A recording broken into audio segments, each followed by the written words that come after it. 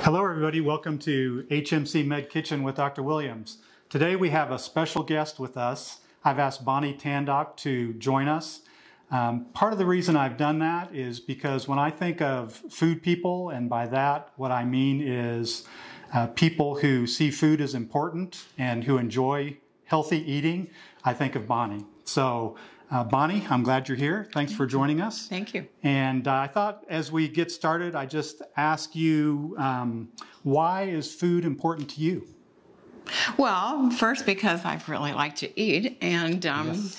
as uh, uh, I was married and had a family, uh, we like to eat together and we cooked together, and it was a time of, of gathering for us, and we talked about not only what we prepared, but um, um, eating eating the good food and other food adventures we've had. And um, it was a time to share just togetherness as a family. Yeah, food brings people together. Mm-hmm. Um, so I think that's important. Well, again, Bonnie, thanks for joining us today. And uh, I've asked you to bring one of your favorite recipes with you, and that's what we're going to cook. So, what are we going to be making today?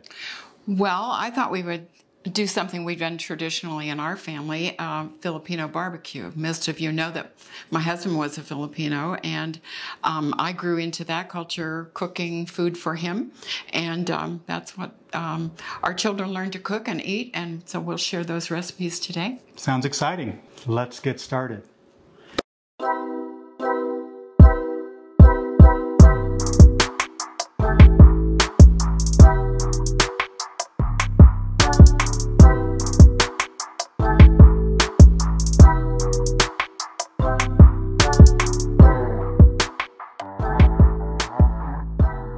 Today we'll be using uh, basmati rice, and the reason I chose that is because it smells good when it's cooking. Um, put enough rice to serve your family. Usually, one cup of rice is going to make two and a half cups of cooked rice. We have to rinse it first. Why do you rinse it, Bonnie? Well, because it, there's a talc on it, and you don't want to um, you don't want to have um, cloudy rice with the talc on it. Rinse it so the water's clear, and then um, and then you can cook it, and you'll have nice um, individual grains of rice that taste real good. I usually rinse it about three times, and then fill it just enough, and just enough for me. I can't turn off the water. I'm sorry. Just enough for me is if you stick your finger in, should be one knuckle of water above the rice. Awesome. Awesome is right. It's really hard to do. and then we put it in the rice cooker. You can cook rice on the stove, but we had to get a rice cooker at my house because I burned it every time. uh, cooking it in a saucepan, you really have to watch it very carefully, watch it closely. We've had um, smoke filled kitchen and a really rice smells bad burned. So you want to cook it in a rice cooker if you possibly can. Yeah, we mm. use a rice cooker at our house too, mm-hmm. so makes sense. Next, we'll start to um, make some Filipino pork. Um, we typically would um, cut this pork up using a pork shoulder um, cut it into small cubes, and then we marinate it. So we'll demonstrate to you what the pork looks like chopped up, and then we'll make the marinade and cover the pork with the marinade. So you've already cut this pork. What size pieces do you cut it in? Usually uh, about um, an inch or half inch piece. Now this pork is actually a little bit fatty and Unfortunately, it needs to have a little bit of fat on it because when you grill it, it dries out too much if you don't if you don't have a little bit of fat. Um, a lot of that fat goes away when it you does grill when you when you process. grill it or broil it too. Right. All so, right. so, we have some pork shoulder here cut into what'd you say about one inch pieces? Right. Or thereabouts. Mm-hmm. So now we need to make the marinade. So right. what goes in the marinade? So we'll start with soy sauce, and we usually use um, a, a, light soy sauce, low sodium, because we will actually add some salt to that in a little bit. So a quarter cup of of um, soy sauce. All right. And we will add a tablespoon of salt. That sounds like a lot of salt, and if it is indeed for your family, don't use that much. Use a little bit less. Um, you'll learn what you like uh, as you taste it to cook. Next, we'll add a clove of vinegar that, I'm sorry, a clove of garlic. Okay, we'll add a clove of garlic. Uh-huh, that you've minced which you can either mince or you can purchase minced, and two tablespoons of vinegar. There you go. And a tablespoon of honey or a natural sweetener like agave. Um, you could, of course, use sugar. That would be um, probably a little bit more traditional, but um, any nice sweetener will work. Then um, stir it up and make sure it's nicely blended and then we'll put that onto the pork and let that marinate. Usually an hour uh, is the least that you would do it. We've been in a frantic hurry sometimes at our house and done it much faster than that. It doesn't taste quite as good. Then, um, if, if you like, if you prefer, you can marinate it for um, overnight. That's really quite quite nice. Smells good. It tastes good too. Then, once it's marinated, and we'll pretend that it is, then you take a bamboo skewer, and you can purchase these at the Chinese store, but I've also noticed that Dillon's has them. Um, so probably Walmart too. You, you uh, uh, pick up your meat, and it's not easy to do, and you have to be very careful because two things happen. Number one, you can poke yourself with the skewer, which hurts real bad, or and sometimes the skewer will splinter a little bit. You want to be careful that you don't um, get a splinter into the meat. And then I like to pack the meat fairly close together, but not too tightly because then sometimes it won't cook well. Uh, if you do that, oh, and sometimes your meat will fall off the skewer, and sometimes you have to search for a way to get it on.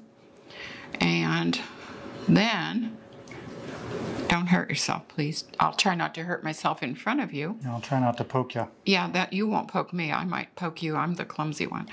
So we've got it mm, skewered, and then you put these on the grill just like this. Sometimes on the grill you have to turn it to be able to get both sides cooked well. You can also do it in the oven, uh, broiling it. We sometimes do that in the winter when it's too cold to go out and grill. Um, and it tastes quite similar, although nothing's better than grilling. Although, well, and right now, uh, unfortunately, I don't have my grill up and running yet. Well, a little early in the season for me. Sorry right. about that. That's okay. So we will put these in the oven. Okay, that sounds like a here. plan. All Let right. me get a little uh, um, little pan for that, and we'll just stick those on there. So what do you think is a is one skewer about a serving? Or? Usually, yeah. typically uh, that would be so. Although when you're making like we we talk about a, a one and a half pounds of pork in the recipe because typically when you're gathering a number of people together. Um, and talking and you know visiting you might eat more than one skewer sure yeah sure. right and we serve it as a meal let's pop these in the oven okay good so what temperature would you do those at in the oven? Broil. Broil. Hot. Hot. Hot. Right. And they don't take very long to cook. Yeah. 10 or 15 minutes, probably okay. max. Good. We'll keep a close eye on those then. Okay. What uh, what are we going to do next? Well, cucumber and tomato salad. Okay, great. First, we chop some onion very finely, and uh, we'll prepare to put that in the actual dressing um, because we we're only using one cucumber in this recipe, so we won't want to have too much dressing. We'll take a quarter cup of rice wine vinegar. All righty. Rice wine vinegar can be purchased at Dillon's as well as any, any of the Chinese stores. All right, what else? Uh, a tablespoon of either sugar or honey or a natural sweetener. We'll use a little bit of honey, and I'm okay. pretty good at guessing a tablespoon. Okie dokie. There we go. A teaspoon of salt, maybe a half teaspoon. Half a teaspoon. A half salt. a teaspoon of salt. All right. All right. Then we're going to put that into a small saucepan and heat it up. All right, let's do that. Okay. And boil it. We'll boil it for however long it takes to bring it to a nice boil. And then pop in the onion.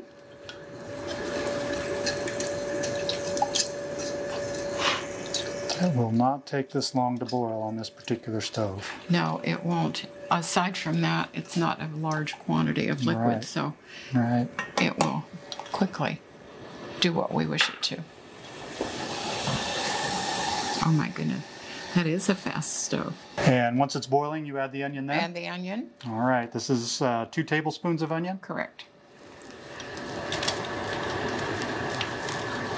And how long does that need to cook? It doesn't. You take it off the off the stove right now All right, that's good to go. Mm-hmm. and let it cool. So, um, how do you like to prepare your cucumbers and tomatoes for this salad? Well, typically I would use uh, cherry tomatoes, but if we have really nice ripe garden tomatoes, we'll use those and chop them into little pieces. A little early for that, unfortunately. It is. but- So we're using cherry tomatoes from the grocery store. All right. And we'll chop them in halves. It's just fine. All right. And while you're doing that, I'll do the cucumber. Sounds good. Okay. Tell me about your cucumbers. The cucumbers, we take a whole cucumber. I really like the long um, English cucumber. I don't think they're English, are they? They're long cucumbers that are wrapped in uh, a saran wrap of, at the Dillon store because they're crunchier and they don't have as many seeds. I like to uh, peel strips of the of the skin off and then I run a fork down the green remaining skin because I think food should be beautiful as well as tasty.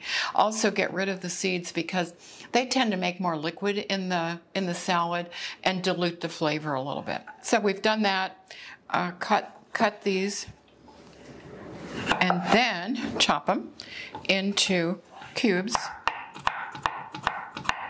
And I didn't grow up cooking in a Chinese restaurant or any other restaurant, so my chopping is kind of irregular sometimes. And um, my kids will talk to me about that, but I do it anyway. I do it my way. They learned that a long time ago, too. Then we'll put our mix our salad together. In a few minutes, that dressing, despite the fact that it boiled, will be nice and cool, and then we can add it to the salad. And um, we usually add a little bit of, of pepper to it sometimes if you like pepper to taste, and some people don't, so we don't, you know, it's kind of what you'd like to do with it. And can you believe it? That salad will be done in a heartbeat. Here's our dressing. We'll just add that in. Of course, we like fresh cracked pepper. We'll add just a little bit of that. Good. Let's stir that up and let it sit for a little bit. I don't like to refrigerate this salad once we've made it because um, the tomatoes, I don't, I, they don't taste good if they've been refrigerated. The flavor seems to be much more intense if they're fresh out of the garden or fresh from the store. Looks delicious. I think it is. All right. I think you'll like it. Shall we talk about dessert? Uh, yeah, sure. Okay. Good idea. I made a um, uh, a Filipino favorite. Um, it's uh, almond gelatin. So actually, it's a homemade variation of Jello. Um, however, I think it's got more protein. It's a little bit. Uh, well, I could maybe it's a little bit healthier. I'm not sure. Um, It's got almonds in it. It has almonds in it and it has milk in it and um, it has gelatin in it. All right. so there you good. go. That has to make it good. Um, what I make mine on a large scale, so I usually um, start with four cups of water to make a serving this big. That would serve my family and um, probably two or three other families um, for dessert. So how do you serve this? We cut it in cubes. Cut it in cubes. Cubes. Right. Little cubes or Sure. big cubes? Little cubes. All right. unless you're going to carry it to work for lunch, which I do sometimes, and then uh, bigger cubes. And I like to make, I like to let it sit until it's room temperature because it's softer. It's not as as um, um, Knox gel, Knox blocks. Does anybody remember Knox blocks? it's a little bit like that if you're serving it cold. I like it. I like it. Almost more like a custard when it warms It, up. well, it's still in a cube. It doesn't lose its shape, but Right. it will be like um, it's like a, a soft Jello, um, but it does maintain its shape. I think because there's a fair amount of um, gelatin in it, so the protein source is um, a little bit stronger. So then we serve it to make it pretty. Serve it in a pretty cup, Right. and uh, first we would probably put in a couple mandarin oranges. Oh, okay. I mean, after all, we talked about food being attractive, and that's what we'd like. So one in, in the other cup too. There you go. It's so fun to tell you what to do. Yeah. Uh-huh, I love it. I'm good at following instructions. I, instructions. I, good. That's good. And then some of these. Yes. All right. And then, here you go. Is that about right? It looks good. All right. Let's do some in the other. You didn't too. chop them up so nice. I know. What's the matter with you? Well, Uh-huh. Already know. yeah. It's okay. There we go. And then some more mandarin oranges, and off we go. We've got dessert. All right. that's pretty and tasty and cool and refreshing and wonderful for summer.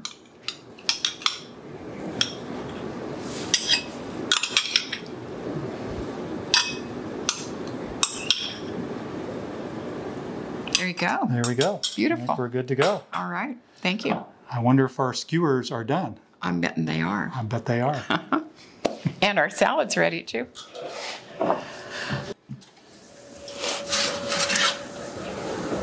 Mm. they look delicious. They do. I'll let you plate us up a plate, Bonnie. Okay, great. First, we'll put the rice on the on the plate, and typically, I would want to make it look beautiful. So we'll spread the rice out a little, and then we'll take a beautiful skewer and lay it across the plate, and then we have our salad, which should be quite delicious and refreshing to go with the warm skewers that are salty a little bit and mm, they have great my favorite word umami So here we have our Filipino barbecued pork with some basmati rice, and we have a nice cucumber and tomato salad to enjoy. Thanks for joining us today, Bonnie, and cooking with us. well thank you for having me i hope you enjoy what we made Yeah, let's try it. okay I'm going to get this off the skewer. That's sometimes the hard part That's the hard part. i took mine off ahead of time Smart. it's easier Let's see how it tastes. Mm. salad's good That pork is got a little saltiness to it. It does have that kind of deep umami flavor to it with that It soy does. sauce. It does because of the soy sauce. And we also have an umami flavoring, which is a savory flavoring with the tomatoes. Sometimes people will add fish sauce to a cucumber salad like this. Yeah. And it also adds that depth of kind of a meaty, meaty, clearly not meaty with with the fish sauce, but it is uh, something that our body recognizes in our taste buds as a flavor that um, makes us feel good and feel um, full. Delicious. Thank you. Let's uh, let's try the uh, the dessert. Now this is an almond gelatin Correct. with some mandarin oranges. With mandarin oranges. Let's give it a try. It's also delicious. Cool and refreshing in the summertime, but my kids like it all year round.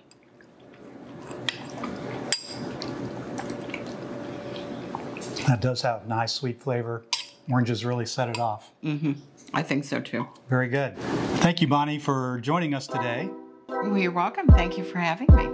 And thank you for joining us at HMC Med Kitchen, where we love food that loves you back. See you next time.